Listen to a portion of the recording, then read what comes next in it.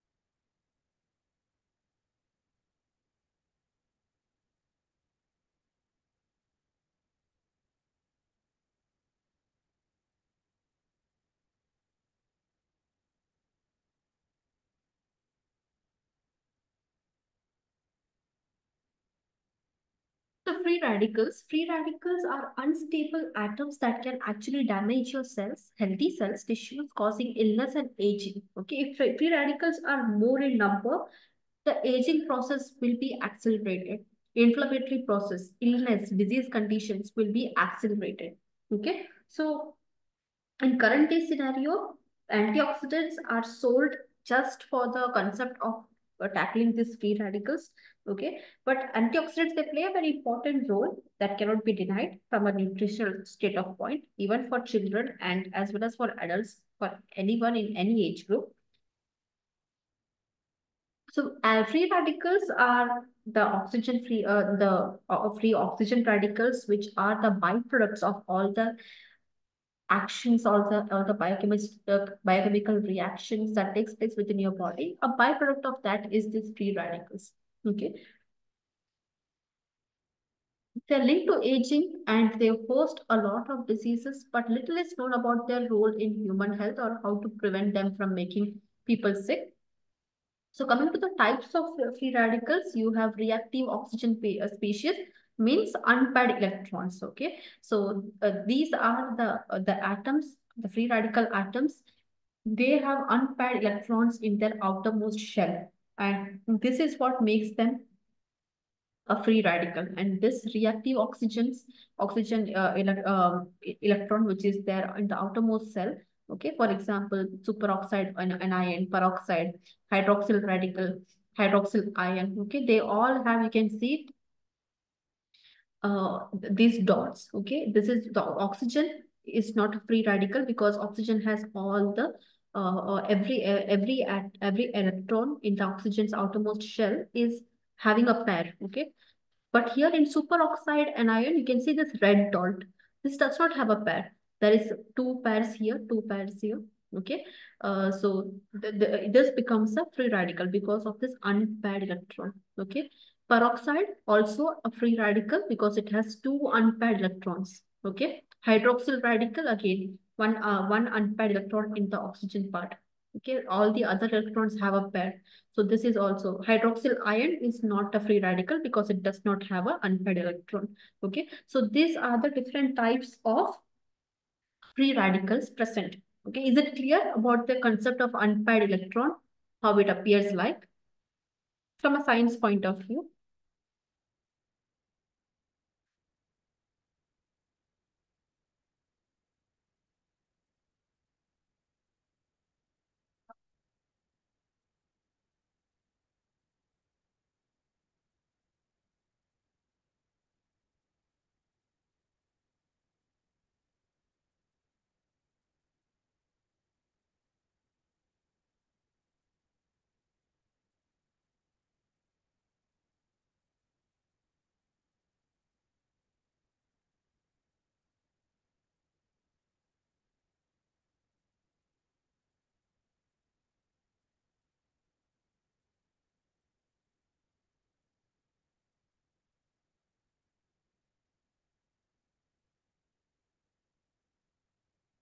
Sources of free radicals. First is your drugs. Okay. After reacting with the body, after functioning within the within the body, uh, drugs are another source of free radicals. After they have done their mechanism of action, something that remains back, okay, that could be a source of free, uh, free radical. Then other chemicals that you put in, in the in the body, okay, uh, you ingest some chemicals or you apply some chemicals that also can work as free radicals. Pesticides from food, okay, if it is not cleaned properly, okay, vegetables and fruits not cleaned properly, these pesticides can be ingested and that act as a free radical industrial pollutants, it depends on where you're staying, what is the water quality that you have, soil quality that you have, air quality, okay? So that would lead to industrial pollutants, tobacco, smoking, okay? Sunlight, uh, being in sun, sun for a pretty long uh, duration. So sunlight, ionizing radiations like gamma rays, X-rays, if you're working in a radiology department, coming to the role of free radicals, what we know so far, biological role, they modulate the inflammatory pro uh, process by regulating the prostaglandin synthesis. Okay, they check the infection by uh, killing the bacteria uh, and also they maintain your vascular tone by making sure that endo endothelium, endothelium is the innermost layer of your blood vessels. Okay, so that has relaxing factors Okay, so make it makes sure that the vascular, uh, the vessels, blood vessels in your body is not always contracted. Okay, they also relax as well. And they also assist in detoxification process of your liver. Okay, so this is the biological roles of free radicals. Oxidative stress. Majority of your cells can tolerate a mild degree of oxidative stress because they have repair systems inbuilt okay, which will recognize and remove the uh, damaged molecules as it is. And then these uh, uh, removed damaged molecule, molecules or cells will be replaced by new ones. Okay. So it will increase the antioxidant defenses also when this replacement of cells is taking place. When new cells are coming, the antioxidant defenses will also go up. Then free radical induced diseases so in which uh, any superoxide radical damage or hydroxyl radical damage, okay, it can it can cause a damage in your DNA structure as well.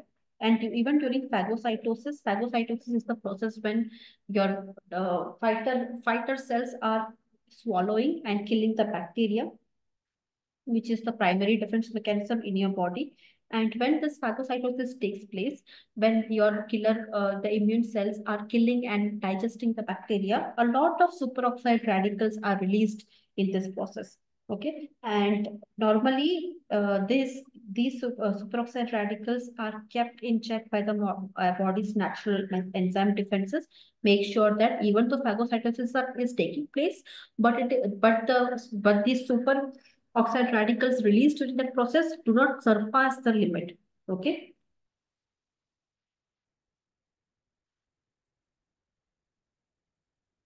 Then diseases attacking uh, diseases by attacking the cell membrane, like retinopathy, respiratory distress syndrome, arthritis, edema, inflammation, uh, uh, cell lysis, okay? Healthy cells undergoing breakdown. These all are the free radical associated uh, cell diseases in which cell membrane gets destroyed. How free radicals destroy the cell membrane? It is through these processes.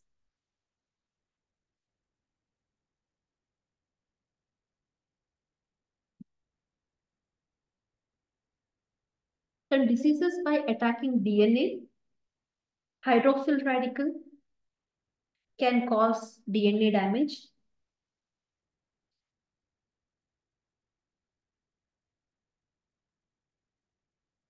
DNA cell in, each human cell receives around 10,000 oxidative hits on a daily basis. It is assumed, okay, it is assumed that a single DNA is getting around 10,000 10, chances of being damaged by free radicals.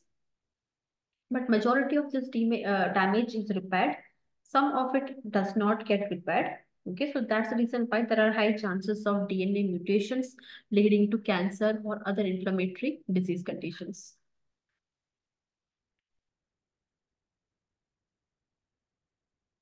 Then diseases by the attack of proteins, free radicals can also cross the cross the aggregate link and damage the proteins. For example, proteins present in your muscles, proteins stored in the body, that can also undergo oxidative stress and that can get damaged. Okay. So leading to weakening of muscle cells.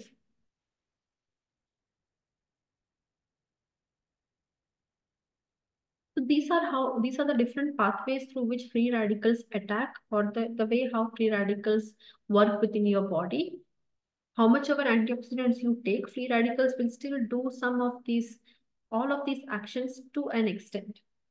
With antioxidants, you can control the extent of this damage, but you cannot completely take away all the damage.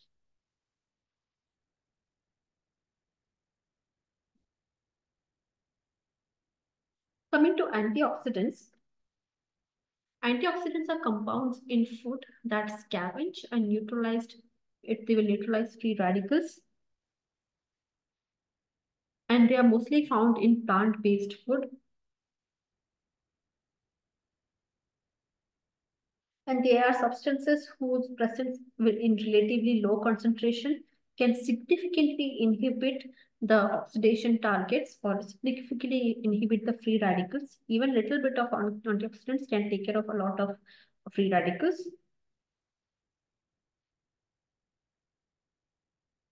So there are different categorization of antioxidants. One of it is shown on the slides here. Based on its bioactivity, the way how it functions within the body, you have enzymatic antioxidants and non-enzymatic. Enzymatic means they these antioxidants they act as enzymes like superoxide dismutase, dis, uh, dismutase and glutathione peroxidase so these are, they act as enzymes, okay? They help in carrying out the biochemical reaction within the body. And there are non-enzymatic antioxidants. They don't function as enzymes at all. They just function as regular antioxidants, taking care of the free radical and oxidative stress damage, like vitamin A, E, E, C, flavonoids, carotenoids, etc. Then based on solubility, you have water-soluble as well as fat-soluble antioxidants. Water-soluble antioxidants are your ascorbic acid, that is vitamin C, glutathione, uric acid. Fat-soluble ones are vitamin A, beta-carotene, coenzyme Q10,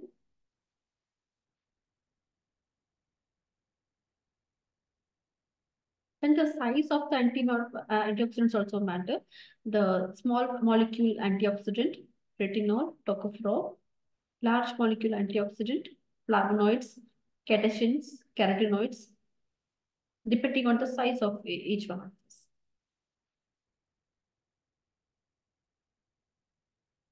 Coming to the further classification of antioxidants, depending on the category as we have discussed, enzymatic is there. Even under enzymatics, you can further further classify that into natural and synthetic.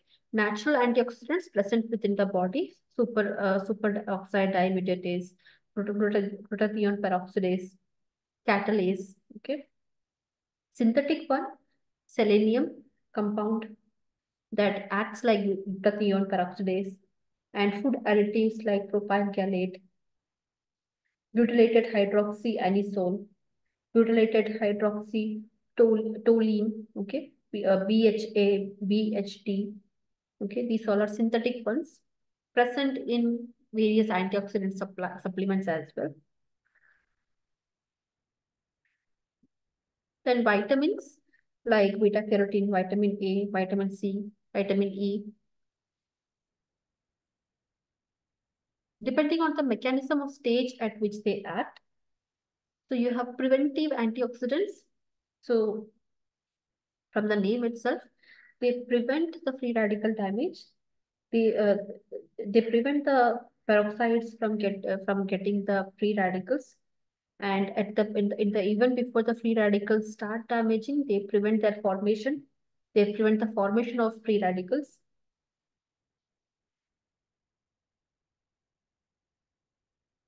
Then we have chain breaking antioxidants. They have the ability to trap peroxy radicals already liberated before they go and cause any damage. Okay, so they will trap the free radicals within their physical structure.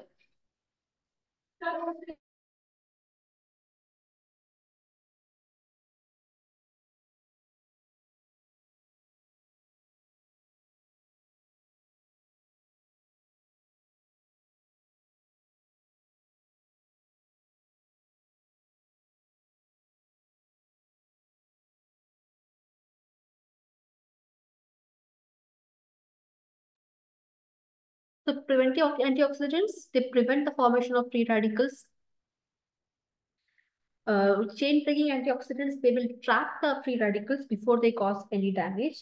They all are natural and synthetic. They, are, they come in natural as well as synthetic forms. Miscellaneous antioxidants, they act by different mechanism. For example, beta carotene, they protect by trapping free radicals and uh, vitamin C as well. Superoxide dismutase, they, they limit the application, uh, they have its limitations on application as a therapeutic agent. Glutathione peroxides, peroxidase, important in the defense system of cells.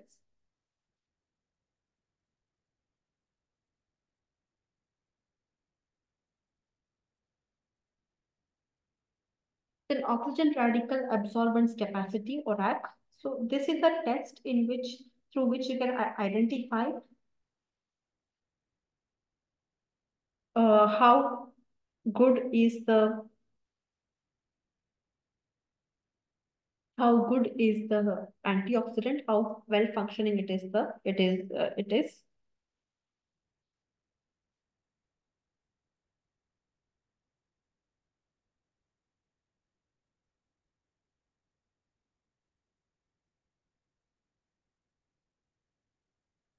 So oxygen radical absorbance capacity assay, it's an assay, it's a test that measures radical chain breaking ability.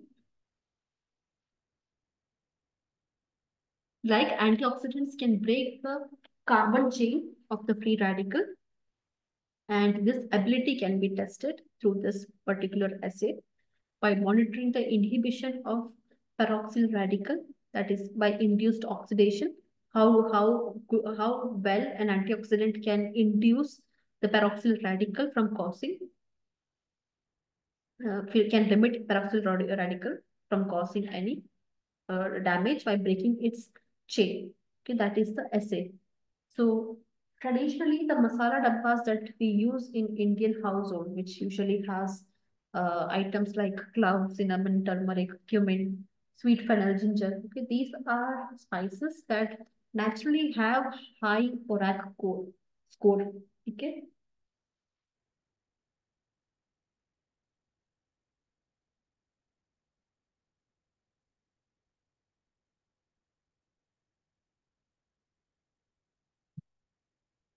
Then coming to phytochemicals. So phytochemicals are plant-based bioactive compounds. They're produced by the plants for their protection. Okay, Phyto phytochemicals can protect the plants from getting attacked by any bugs, any bacteria. Okay, so that the uh, plants can stay alive. But these phytochemicals also have herbal quality to it, healing quality to it. Okay, they're good for human consumption, consumption as well.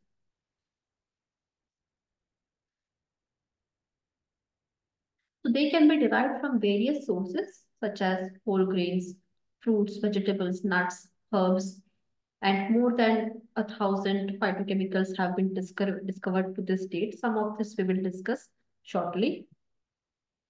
So even your textbook, they have given a table of different names of phytochemicals and their best source. Okay. This also, this uh, screen also contains the same kind of information. So allyl sulfides can be, these are phytochemicals found in onion, garlic, leek, chives. Carotenoids, as we know, it is found in all yellow, red, orange fruits and vegetables like tomatoes, carrots, watermelon, spinach. Curcumin found in turmeric, Flavonoids are found in red grapes, specifically red grapes, uh, blueberries, strawberries, cherries, apples, grapefruit, cranberries, raspberries, all the berries, green tea, glutathione on green leafy, green leafy vegetables, indoles, in broccoli, cauliflower, cabbage, Brussels sprouts, isoflavonoids, uh, legumes, isothiocyanates in broccoli in, in the uh, cruciferous vegetables, lignans in all the seeds, monoterpenes in citrus fruits, cherries, even limonene is found, limonene is found in lemons and citrus fruits. Phytic acid is found in whole grains, legumes, phenols, polyphenols, or any phenolic compounds are found in tea, berries. Saponins are found in beans and legumes. So these on the left, whatever name you see is the different forms of phytochemicals and that best sources are given on the right side. So phytochemicals are good for human consumption. They also have antioxidant property.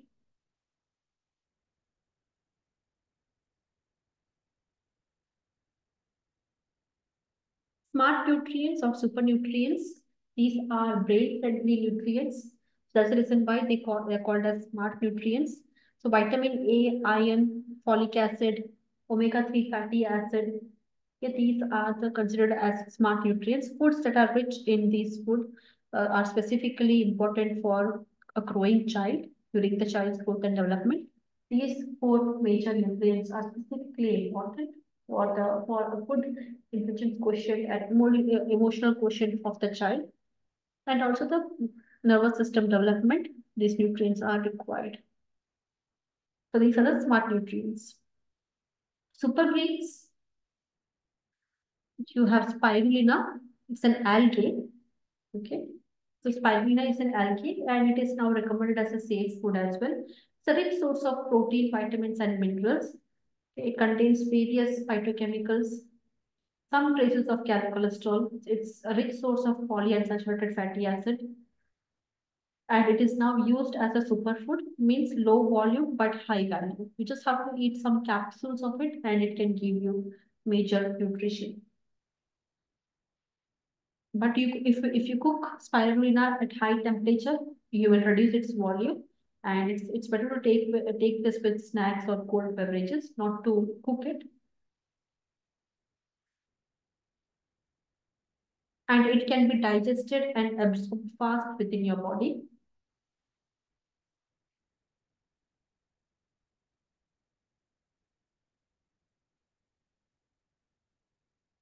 And usually uh, the protein conversion efficiency in the spirulina is quite high. So it can supply double amount of vitamin A requirement of a child and children usually like the taste of spirulina as well. It can be given mixed with food, other forms of food.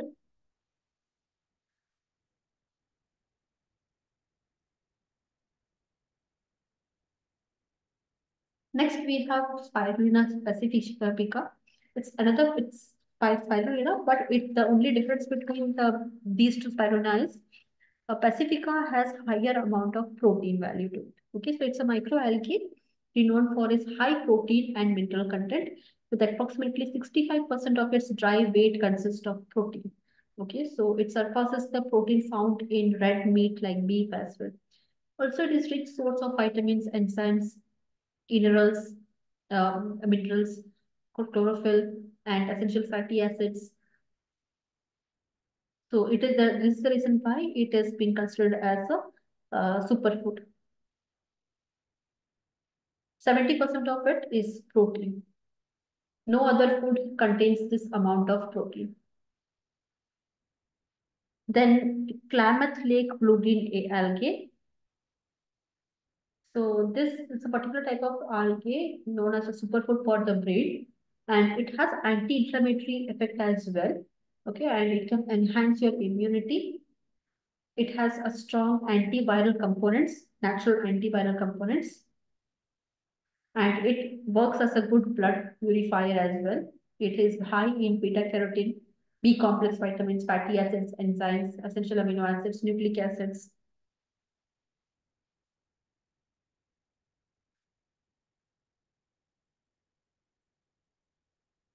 Then chlorella. Another form of algae, it can be used as tablets or supplements. It supports the function of liver and brain, improves digestion, elimination, detoxifies the blood, protects against radiation, and promotes weight loss as well, enhances immune function, decision-making abilities, thinking abilities, cognitive abilities can also be improved with uh, chlorella spirulina mix. So that's about super greens. All these are different forms of algae. And super antioxidant food, cooked tomatoes. High amount of lycopene is found and it can be absorbed efficiently even if the if it is processed into uh, ketchup, juice, sauce, or paste. Paste lycopene can still still be uh, absorbed from the body, tomato even if it is cooked. Okay.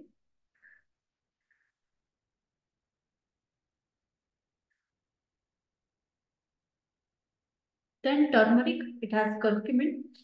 So even it helps with prevention action of turmeric for Alzheimer's is known well. That, that curcumin might uh, play a role in slowing, slowing down the progression of Alzheimer's.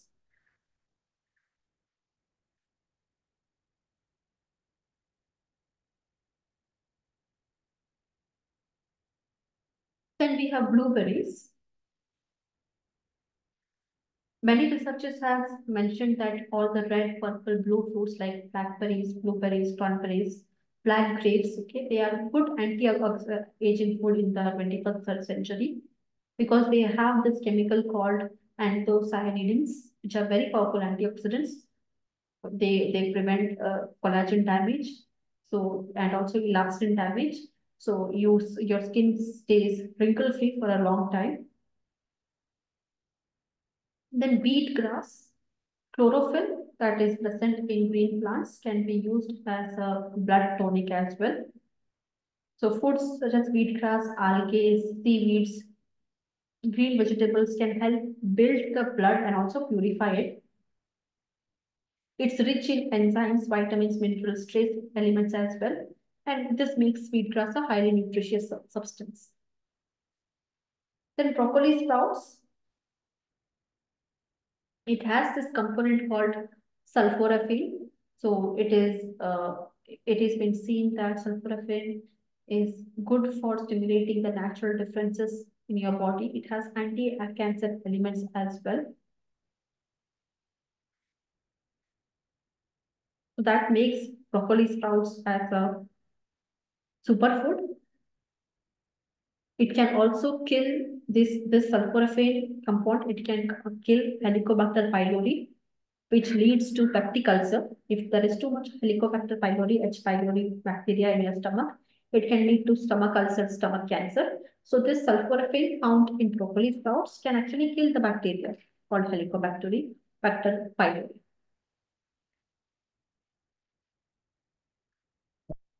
Then grapefruit so grapefruit, it's uh, it's it's from the citrus fruit family, orange family. Okay, so have significant effect of vitamin C, high amount of vitamin C. They have bioflavonoids as well, like taxi, pollen, rutin. Okay, they are important flavonoids found in all citrus fruits, including grapefruits.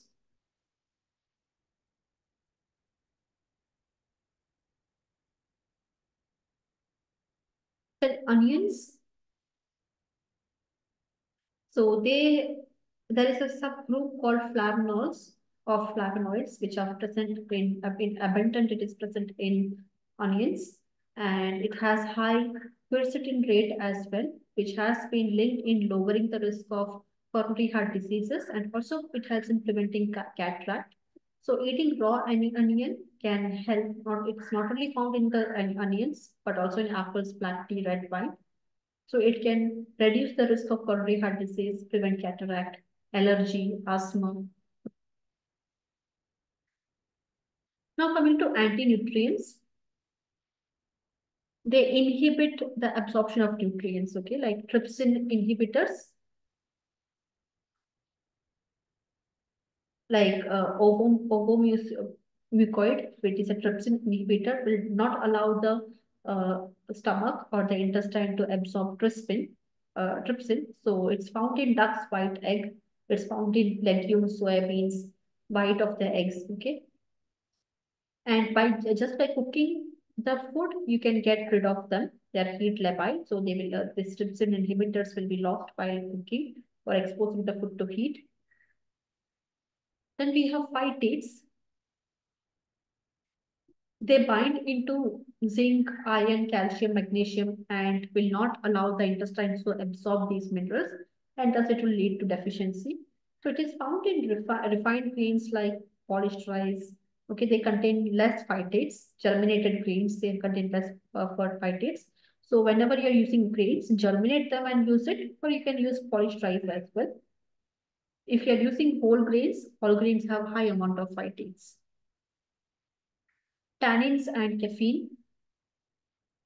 Caffeine in coffee can be reduced by roasting the coffee seeds. Theobromine in cocoa beans, okay, that is also a stimulant. Tannin, which is found in uh, legumes, okay, uh, that, that also has this anti-nutrient effect. They bind with iron and interfere with iron absorption from the food. They also bind with protein and not allow protein to be absorbed. That's why you have to you do some processing which can re remove or reduce tannins and caffeine in food. Then you have oxalates, oxalic acid or calcium oxalates. There are plenty of them in legumes. Vegetables like spinach, drumstick, curry leaves, amla nuts, coffee, tea.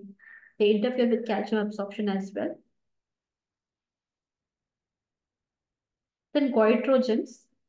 Goitrogens lead to the risk of uh, increased risk of goiter or they are uh, goiter causing elements because they inhibit the absorption of iodine into from the food.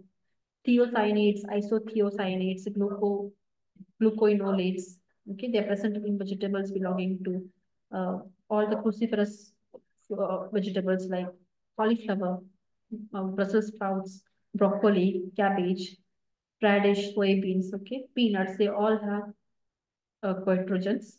They block the iodine uptake by the intestine. Can access fiber, too much of fiber cannot be digested. So along with the undigested fiber, various nutrients will also leave your body.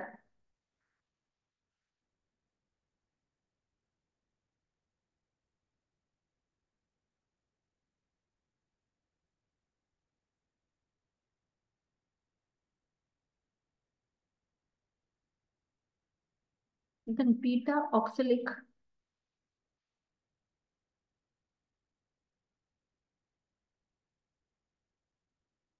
beta oxalyl aminoalanine.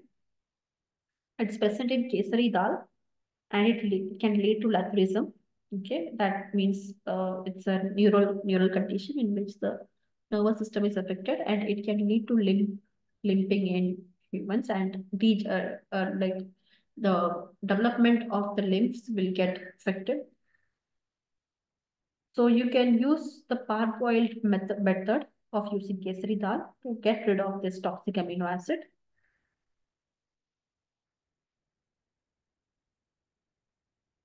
Then you have cyanogenic glucosides present in tapioca, cassava tapioca.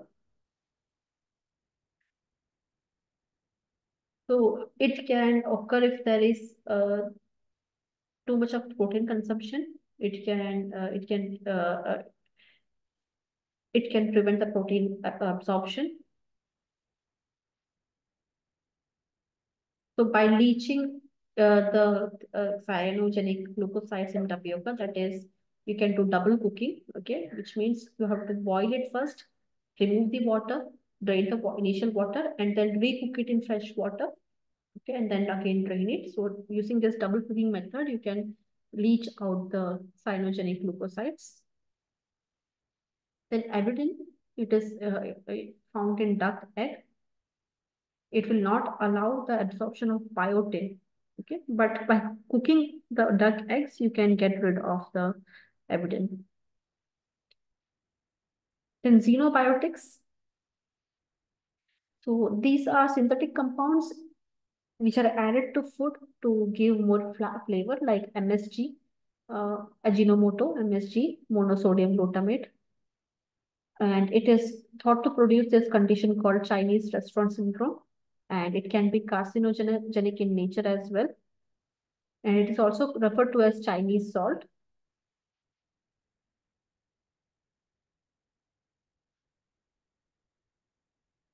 Then aflatoxins. It produce, uh, it can cause liver damage.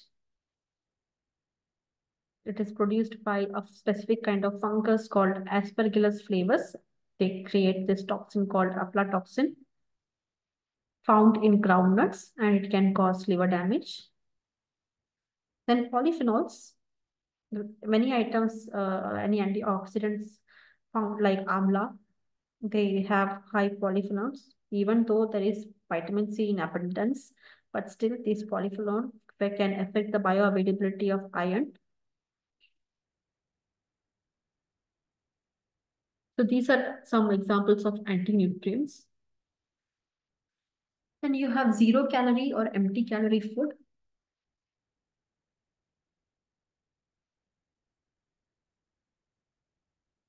Water is the only true zero calorie food that occurs naturally. Okay, and zero okay, water does not give you any calories, but it is highly required for the body and to uh, be alive. So what is zero calorie or empty cal calorie? They have taste, they have calories, but they do not have any nutritional value to it.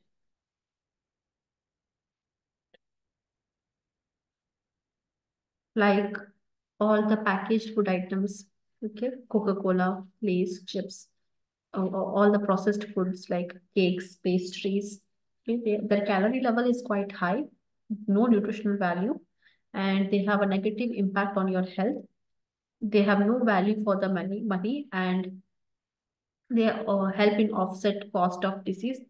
No, they will they will increase the cost of disease. Okay, but what does nutrient dense calorie food do? They have cal low calories but high nutrition, quite high amount of vitamins, minerals, macros.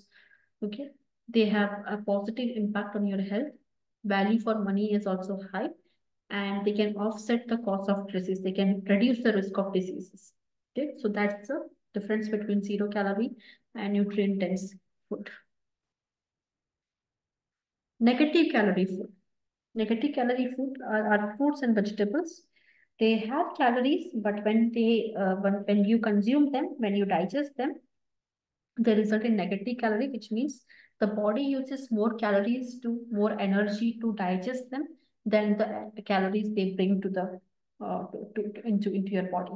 That's the reason why it is called negative calorie because the body requires more calories to digest them than what they provide to you. Okay. So all some uh, negative cal calorie vegetables are like asparagus, beetroot, celery, cucumber, garlic, spinach, brinjal, aubergine, broccoli, cauliflower, cabbage, fruits, apples, apricots, grapefruit, papayas, raspberries, watermelon, cranberries, oranges, blackberries, cantaloupes, that is muskmelon. Okay, so these all are fruits and vegetables that are uh, that are negative calorie in nature because your body requires more energy to burn them. So you lose weight with this kind of fruits and vegetables.